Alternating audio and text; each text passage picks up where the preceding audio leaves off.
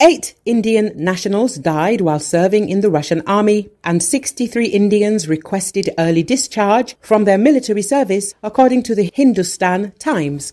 Many Indian nationals were deceived by job scams, promised employment in Russia, but forced into military service against Ukraine. This exploitation is part of Russia's broader strategy to augment its military ranks while avoiding domestic backlash and conscription resistance.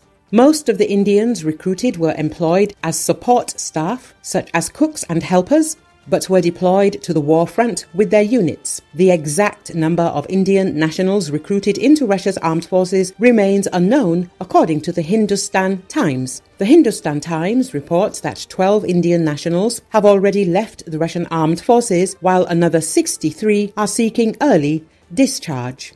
Indian Prime Minister Narendra Modi addressed this matter during his meeting with Russian President Vladimir Putin in Moscow last month. The Indian side secured a promise for the swift repatriation of these individuals.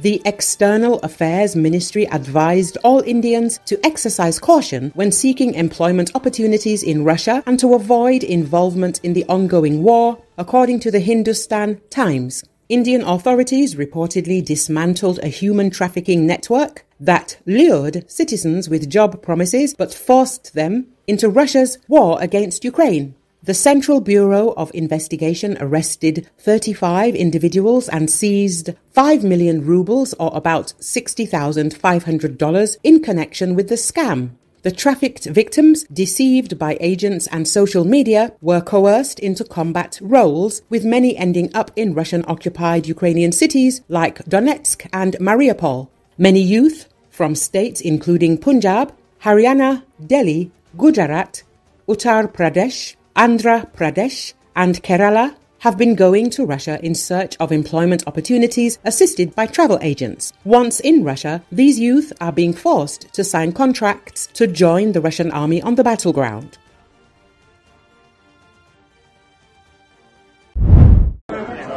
A Sunderland police station caught fire as riots continued to spread after three girls were killed at a Taylor Swift themed dance class in Southport. Recall In the English city of Southport, a 17-year-old teenager attacked a dance studio with a knife and stabbed to death three children, girls aged 6 to 9. Prime Minister Keir Starmer called the attack horrendous and deeply shocking. King Charles III sent his condolences, prayers and deepest sympathies for those affected by the utterly horrific incident. The tragedy led to mass unrest in the city. Outraged residents staged a protest near the local mosque amid rumors that the perpetrator was a Muslim, but the police denied this. The rally led to clashes between its most radical participants and the police, the burning of a law enforcement car, and injuries to dozens of law enforcement officers.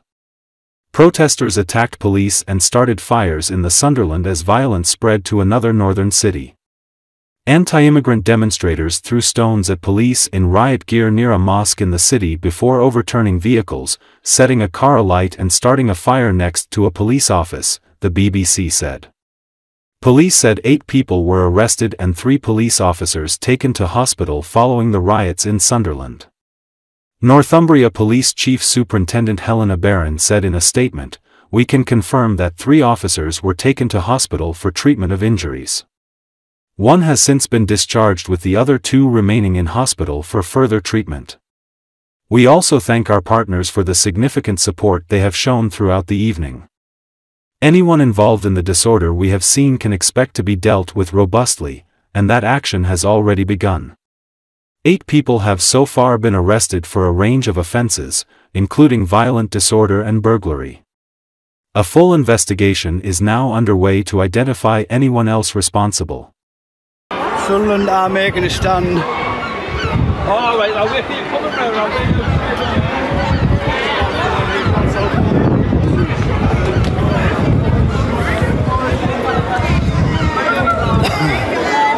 We're uh, running a different way and catch in front of them all again. There's thousands.